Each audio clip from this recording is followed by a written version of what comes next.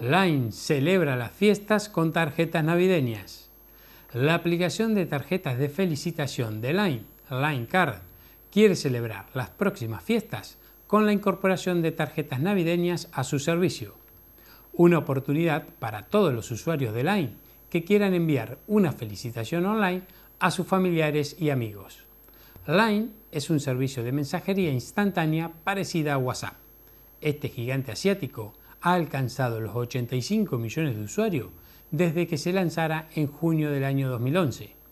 El servicio online, creado por la compañía Naver, permite no solo enviar mensajes de texto, voz y vídeo, sino también realizar llamadas gratuitas e incluso utilizarlo en PC y Mac.